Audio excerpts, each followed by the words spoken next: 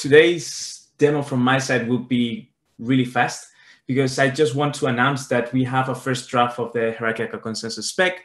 Um, as you may know from previous demo days, uh, we finished with a first MVP of the protocol. We kind of know now what are the details and, and the basic end-to-end implementation of the protocol. And we are working on uh, having an alternative implementation in Rust, leveraging the, um, the Forest client. So we are exploring that line of work because right now everything is, so HC is implemented in a fork of Lotus in Eudico, and we're exploring having an alternative implementation, and that's why we started this line of work of having a first draft spec.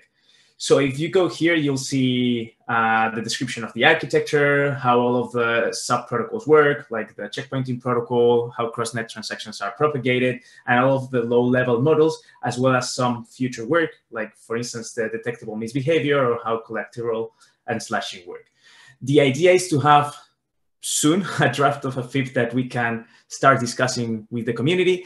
But in the meantime, if anyone wants to read the spec, start using the MVP implementation, or even like give us feedback, if you see something that it, it doesn't make sense at all, feel free to open a PR here in the protocol consensus lab. I can, I don't know if to share it here in Zoom or maybe in Slack.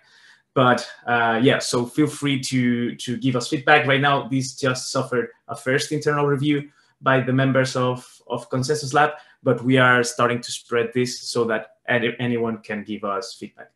And I guess that's all from my side. Thank you very much. And if you have like any questions, feel free to ping me.